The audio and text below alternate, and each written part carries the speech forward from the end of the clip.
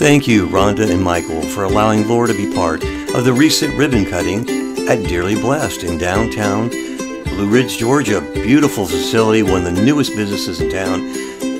There's the ribbon cutting. Again, what a blessing it was to see the pastor pray over the business. And we had Lora on site painting. Here's some of her artwork that's offered at Deerly Blessed, as well as a lot of home decor items.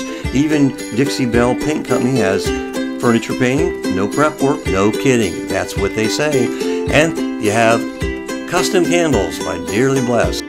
So while you're in Blue Ridge, Georgia, visit Deerly Blessed. Take the easy elevator ride upstairs. You can join the shops, the train ride, and many other things. So come on down to Blue Ridge, Georgia. It's a great place for the family to visit.